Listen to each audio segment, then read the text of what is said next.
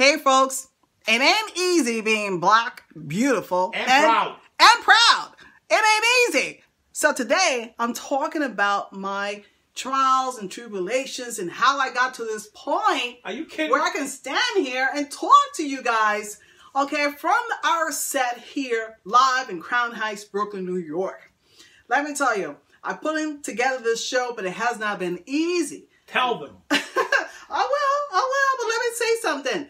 It just hasn't been easy, okay? Now, every day I get up, my plan is to come out and do what I feel that I would like to see in the universe. And what's missing is someone that looks like me, that sounds like me, that wears lipstick like me, you know? So I'm putting it out there and I really appreciate all the likes that you guys have been supporting me on the set and about my show.